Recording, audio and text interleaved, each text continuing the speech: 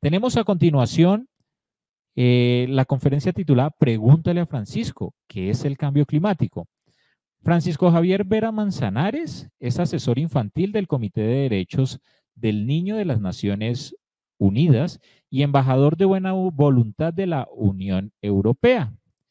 Seguramente ustedes lo, conocen, tal vez eh, ya podemos verlo en, en nuestro Facebook. Francisco es activista ambiental, es el más querido en términos de la lucha contra el cambio climático en Colombia. Con 12 años de edad, su experiencia se caracteriza en crear el movimiento de guardianes por la vida, nombrado embajador de buena voluntad de la delegación de la Unión Europea en Colombia. Eh, este año lo declararon asesor infantil en el Comité de Derechos del Niño de las Naciones Unidas. Tengo entendido que Francisco vive en Villeta, en un sector eh, cundiboyacense, donde en una finca de sus abuelos también nace ese, ese amor por, por, la naturaleza y ese amor y ese interés por, por atender este tipo de proyectos. Entonces, pues Francisco, bienvenido al tercer foro interinstitucional de investigación. Eh, eh, el foro es tuyo en este momento para que nos compartas eh, tus reflexiones a raíz de esta situación que hemos venido discutiendo durante esta mañana. Claro que sí, no, pues bueno, muchísimas gracias antes que todo y de antemano por la invitación a este espacio, a este foro justamente para conversar sobre eh, la necesidad de actuar frente a la crisis climática y frente al cambio climático, ¿no? Desde la educación, desde la educación ambiental, desde la educación climática, desde todas las herramientas en las que podamos generar cambio, generar espacios pues de transformación en pro de la vida y en pro, claro, del medio ambiente. Eh, pues bueno, antes que todo, pues yo creo que tú ya me presentaste, ¿no? Pero me presento nuevamente, soy Francisco, ¿no? Eh, tengo 12 años, eh, pues ahorita mismo estoy cursando grado sexto y bueno, nuevamente un gusto acompañarlos el día de hoy en este tercer foro, básicamente, pues de, de, foro interinstitucional de investigación. Y muchas gracias por la invitación, claro está, ¿no? Por tener en cuenta, claro, a los niños y a su voz, ¿no? Eh, bueno, pues yo quiero empezar hablando primero que todo de la problemática actual que hoy tenemos, ¿no?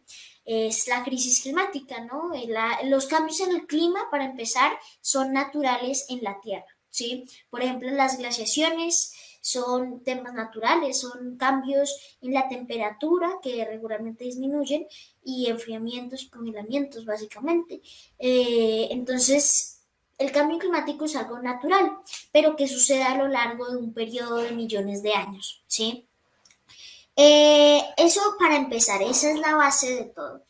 ¿Y qué es lo que pasa con el calentamiento global? ¿Qué es lo raro ahí si el cambio climático es natural? El cambio climático es natural porque la Tierra se autorregula, sí, se debe autorregular, debe autorregular su temperatura, sus aguas, sus ecosistemas y demás. Ahí lo raro, lo diferente es que a partir de nuestra acción como seres humanos, como eh, empresas, como gobiernos, como consumidores, como ciudadanos, lo que estamos haciendo es emitir un montón de gases de efecto invernadero a la atmósfera, como el metano, como el dióxido de carbono, el dióxido nitroso, muchísimos gases que se van acumulando. Esos gases lo que hacen es absorber el calor y por tanto el calor que proviene del sol y por tanto aumentar la temperatura en la Tierra. Y ahí lo distinto es que primero el ser humano es la única especie biológica capaz de modificar los patrones climáticos, digamos. Y además en un corto tiempo. Una, una condición que yo les nombré para el cambio climático es que dura en millones de años. Es un periodo larguísimo, no es algo que puede suceder en 10 años, 5 años, 3 décadas, no. Es algo que dura bastante. Por ejemplo, eh, después del periodo eh, de los dinosaurios, cuando supuestamente impactó ese gran meteorito sobre la Tierra, se creó una fina capa de, polvo, una fina capa de polvo que impidió que la luz entrase a la Tierra. Por tanto, disminuyó la temperatura. Pues eso duró bastante tiempo, ¿sí? No exactamente sé cuánto tiempo, pero para ser concretos, estos cambios en, los patrones del clima que estamos generando como especie ahora duran al menos 30 años. 30 años, o sea, pasamos de unos cambios en el clima de millones de años a 30 años. ¿Eso por qué? Por lo que les decía, porque desde hace mucho tiempo, para entender el cambio climático, no solo hay que tener química, ciencia, sino también remontarnos a la historia. Hace muchos años, desde comienzos de la revolución industrial, se empezó a emitir gases de efecto invernadero a la atmósfera, ¿sí? Luego, eh, pues realmente el ser humano, si nos damos cuenta a lo largo de la historia, nunca le ha importado significativamente el medio ambiente, solo nos importó la guerra durante el siglo XIX, durante eh, la segunda revolución industrial, lo único que hacíamos era explotar la tierra para explotarnos entre nosotros, literalmente. Eh, los europeos conquistaron África en algo que se conoció el reparto colonial de África, ¿sí?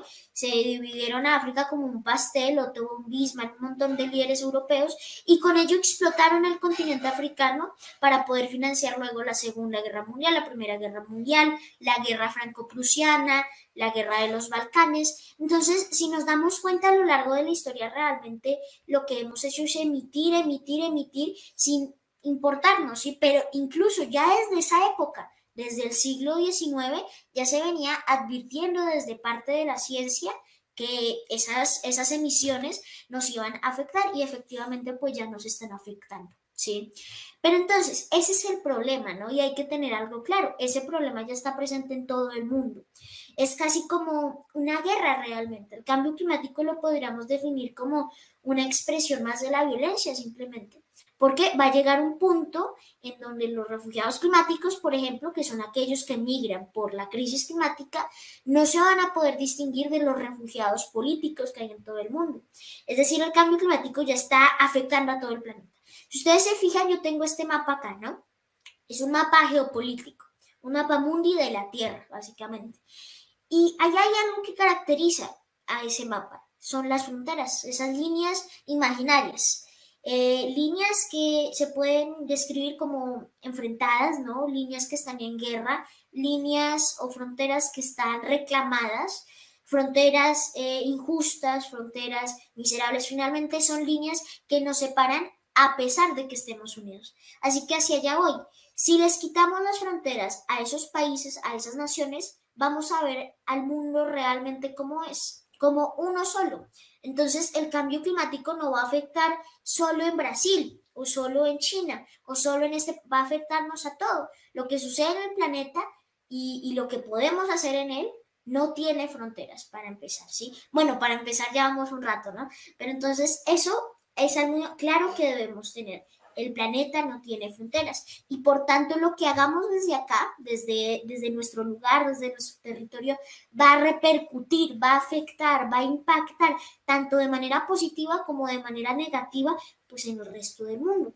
Y ya nos damos cuenta que tenemos ahí como un poder, ¿no? Un poder de que podemos impactar, tenemos una influencia y justamente la invitación el día de hoy es a poner esa influencia a favor de la acción climática, a favor de la mitigación y adaptación del cambio climático. ¿sí? Necesitamos eso, ciudadanías para la vida, niños, niñas, jóvenes, estudiantes que estén comprometidos con la causa climática, con la causa medioambiental y que puedan avanzar hacia pues, un futuro y un presente digno, ¿no? Porque regularmente también muchos nos hablan del futuro. Si digamos las cifras, para 2050 va a haber más plásticos que peces, dentro, a ver, no sé, yo tengo 12 años, dentro de 6 años ya podré votar, ¿sí? Cuando cumpla 18. Vemos el futuro, pero no pensamos en el presente. Yo creo que ya estamos sufriendo las consecuencias del cambio climático. No va a ser dentro de unos años, no va a ser dentro de unas décadas, es ahora. Y ahora es cuando podemos hacer algo. Si dejamos los años, pasar un tiempo, ya no vamos, ya no va a haber realmente una solución que impacte de tal forma que podamos reducir, reducir, perdón, un problema tan complicado y tan difícil para la humanidad. ¿sí? Ya hay teorías que plantean hasta la sexta extinción masiva de la especie, básicamente teorías científicas, claro está, ¿no? Esto no es algo a alguien que de repente se le inventó que para meter miedo en la gente, para contar una historia de terror, vamos a inventar que es el cambio climático. Esto es evidentemente a partir y basados en argumentos científicos, en argumentos pues eh, que da la ciencia, ¿sí? Entonces, eh, Básicamente yo, mi invitación con esto, yo quiero invitar es a todos los jóvenes a que participen, a que hagan todo lo posible porque, por ejemplo, reduzcamos nuestro consumo de plásticos, nuestro consumo, ahorita vi que se estaba hablando de los plásticos, ¿no? Pues en Colombia, les cuento algo, hace dos días se prohibieron los plásticos de un solo uso. Eso es un gran avance. Eh, también, por ejemplo, dejar de utilizar las, bolsas, las bolsitas de plástico, ¿sí? Reemplazarlas. Hay muchas maneras de reemplazarlas, por botilitos, por bolsas de tela, de todo. Utilizar medios de transporte sostenible. Exigir a los demás que cumplan con sus acciones para poder mitigar el cambio climático, ¿sí? Eh, porque, a ver, ya antes se hablaba, digamos, como de evitar un problema de la magnitud del cambio climático. Ahora ya no podemos decir evitar, es algo inevitable, por eso podemos solamente reducir o mitigar, como digo, ese impacto o también adaptarnos a él, ¿sí? Entonces, exigirle a los demás, ¿quiénes son los demás? Pues en la sociedad hay varios actores fundamentales, tales como los gobiernos, eh, que son los responsables de crear políticas. No solo estamos nosotros, porque regularmente, por ejemplo, nos dicen, reciclemos, nos dicen, no botemos los papelitos a la calle, nos dicen, separemos los residuos, pero realmente más allá de eso hay un impacto también político que no es partidista, es, por ejemplo desde el Congreso donde se crean leyes, desde nuestro, nuestra Junta de Acción Comunal, ¿sí? desde ahí podemos pedirle a aquellos que gobiernan que gobiernen para la vida, que creen políticas para que mitiguen y adapten esa crisis climática no solo están los gobiernos, también miren ahí están las empresas. Otro, otro actor muy importante, pedirle a las empresas que dejen de, producir plásticos en el resto del mundo. Para los que no lo sabían, ya según varios estudios eh, que están comprobados, básicamente, eh, en nuestro torrente sanguíneo, en nuestras venas, ya tenemos microplásticos, lo cual es algo bien preocupante, ¿no? Y pues en general yo creo que eso es lo que podemos hacer frente a un problema de, tal magnitud, ¿no? Como lo es la crisis climática. Y no desesperanzará, desesperanzarnos, sino seguir adelante, ¿sí? Yo creo que más que infundir miedo con esta charla, yo lo que quiero hacer es infundir esperanza. Una esperanza que no sea vacía, sino una esperanza que esté llena para, de acciones para cambiar, para transformar y para hacer un cambio eh, pues mejor, sí, que nos va a beneficiar a todos finalmente. Y hay algo muy importante que también hay que tener en cuenta, el, el, medio ambiente no es algo ajeno también a la economía, a, a, la desigualdad, tiene, se relacionan, ¿no? De hecho, se relaciona hasta con la guerra, yo les dije, el cambio climático es una expresión más de la violencia, si lo vemos de esa manera, migrantes climáticos, inmigrantes o refugiados políticos. Y así están las cosas, así que eh, como niños, como ciudadanos del presente, porque hoy ya más que todo también quiero darles esa idea. Muchos piensan que ser ciudadano es votar, ¿sí? Pero yo les quiero dar la idea, presentar la idea de que ser un ciudadano no es cumplir los 18 años y ejercer el derecho al voto. Bueno, sí lo es, pero es una parte de ser ciudadano. Ser ciudadano es participar, ser ciudadano es alzar su voz, es hacerse escuchar. Ser ciudadano es construir un país a partir de la diferencia, un país a partir de la paz, a partir de la, del respeto, a partir de la empatía, a partir del cuidado de la naturaleza y de los recursos eh, naturales. Esa es la ciudadanía y por tanto nosotros como niños somos ciudadanos, pero que no podemos votar. Somos ya ciudadanos que podemos participar, que tenemos una opinión y que nuestra opinión debe ser tenida en cuenta, ¿no? Somos el presente. Eh, yo, pues ahorita el, profesor lo, lo, nombraba, ¿no? Eh, básicamente, pues sí, somos el presente, como les digo, somos ciudadanos de la hora, que no tenemos voz, no tenemos voto, pero sí tenemos voz, básicamente.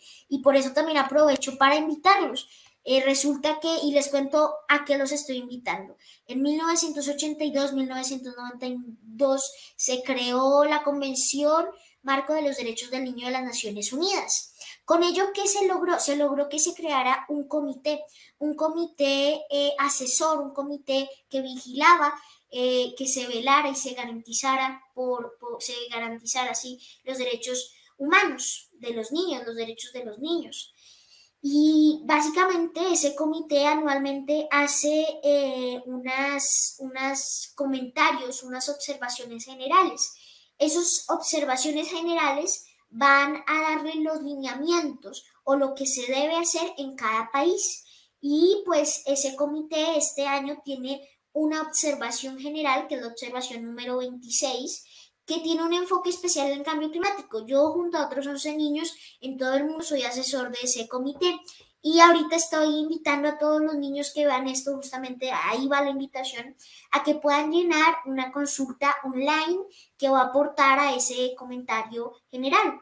Resulta que, pues, justamente como les digo, somos el presente, podemos influir y a pesar de que no tenemos voto, sí tenemos voz. Y una forma de representar nuestra voz es llenando esas consultas, es participando en esos territorios, es participando en esas organizaciones como Naciones Unidas y hoy la invitación es a eso. A no, solo hacer no solo hacer todo lo que les conté, sino también a que puedan rellenar esa consulta. Esa consulta la encuentran en la página web de eh, la observación o comentario general número 26. Ustedes simplemente buscan en un buscador, en Google, en el que sea, Firefox, eh, pues observación general, comentario general número 26, ahí les aparece y allí pueden llenar las consultas online, que son básicamente encuestas eh, que se le está invitando a hacer a todos los niños del mundo, están en francés, español, inglés, eh, para que básicamente eh, puedan contar cuál es su realidad, cuál es la realidad que hoy viven todos los niños en el mundo, porque no solo son los niños de la ciudad, son los niños del campo, son los niños de África, Europa, Asia, Oceanía, América entera. ¿sí? Entonces, pues básicamente ahí está. Sí, esa es, esa es la invitación que yo también quería hacerlos. Esa invitación con carácter, pues digamos, como lo digo, eh, más importante, digamos. Claro que sí. Eh, muchísimas gracias, Francisco, por, por esas reflexiones tan bonitas que nos haces. Eh, y efectivamente, digamos que hay muchos niños en este momento en nuestra institución que están atentos, te están escuchando. y yo quiero hacerte una pregunta a raíz de la reflexión que haces y, me llamó mucho la atención algo que decías y era, hombre, el cambio climático tenemos que empezar a verlo también como una expresión de una guerra que si no nos ponemos las pilas en el corto tiempo y hacemos acciones puntuales, pues seguramente más adelante vamos a tener unas consecuencias irreversibles para, para nuestro planeta. Pero Francisco, eh, no sé si, si pudieras regalarnos y, piensa como, como en esta metáfora y es como ¿qué semillitas deberíamos sembrar en esas nuevas ciudadanías, en esos nuevos niños, para que efectivamente le prestemos mucha atención a este tema del cambio climático y, de verdad todos estos, estos niños que están en ese proceso de formación, a partir de esas semillitas puedan hacer algo importante para nuestra sociedad. ¿Qué se te viene a la mente? Pues realmente yo creo que las semillas de los jóvenes se deben construir simplemente dándole las herramientas y escuchando su voz, ¿sí? Es así de sencillo. A veces las cosas parecen más complejas, pero yo creo que podemos sembrar semillas de manera muy sencilla en los jóvenes, dándole las herramientas para que ellos conozcan las problemáticas globales, ¿no? Para que ellos puedan pensar global y puedan actuar eh, local, pero que además también eh, a ver, nosotros no necesitamos que nos den voz, no necesitamos que nos den ciudadanía, nosotros necesitamos que se reconozca nuestra voz, ¿sí? que se reconozca nuestra ciudadanía. Y pues en eso está principalmente. Eso es lo que veo yo. Perfecto, perfecto, Francisco. Y una, una invitación que, quiero que le hagas a, los demás eh, espectadores y es, eh, bueno, cuéntanos acerca de tu libro, que, en qué consiste ese nuevo libro que lanzaste, por qué es importante eh, leer tu libro y en dónde se puede conseguir. Bueno, pues el libro se llama Pregúntale a Francisco qué es el cambio climático, sí. Lo publiqué hace tres meses y lo presenté con el expresidente Juan Manuel Santos. Y el libro consiste pues en una explicación, sí, está muy, muy bonito, es ilustrado también por un artista eh, muy chévere, me gustaron bastante las ilustraciones, y es lo primero que llama la atención, se llama Luigi Staffur, y pues eh, básicamente el libro lo que hace es explicar todo lo que les conté, ¿sí? ¿Qué es la crisis climática? ¿Cuál es la diferencia entre tiempo y clima? Eh, por ejemplo, eh, ¿cómo nos va a afectar el cambio climático? ¿O cuánto es un grado más? Eh, nos va a explicar todo eso, pero de manera muy simplificada. Sabemos que hoy, evidentemente, necesitamos de la ciencia, ¿no? Sin embargo, la ciencia, pues, a veces no se explica de manera tan fácil, ¿sí? Es entendible, claro, pero se dificulta entenderla. Eh, por ejemplo, para edades tempranas, ¿no? Entonces, lo que básicamente hice en el libro fue simplificar un poco ese vocabulario, ese lenguaje, para que fuera entendibles para todos. Realmente no considero que solo es para los niños, sino para absolutamente todo el mundo que esté interesado en afrontar la crisis. Perfecto. Ya está. Perfecto y muy bien. Y nos hacen una pregunta eh, para, para ir finalizando y es, ¿cómo podemos hacer parte del movimiento Guardianes por la Vida que fundaste? Eh, actualmente hay alguna página, hay algún lugar donde las personas puedan eh, interesarse, ir a buscar e inscribirse? Pues bueno, por medio de Facebook nos pueden contactar, Guardianes Colombia, salimos en Facebook y en Instagram, Guardianes eh, por la Vida. Y, pues bueno, allí nos escriben, nos manifiestan esa intención pues de hacer parte del movimiento, les pasamos un formulario y empezamos a trabajar básicamente. Eso es. Muchísimas gracias. Él era Francisco Javier Vera Manzanares. Eh, mil y mil gracias por compartirnos tus reflexiones, tus pensamientos en este tercer foro interinstitucional de investigación. Muchas gracias a ustedes. Todo un gusto y a la orden siempre. Bien, perfecto. Bueno, mil gracias. Entonces, con esto daríamos entonces por cerrado este primer eje asociado al cambio climático en este tercer foro interinstitucional de investigación.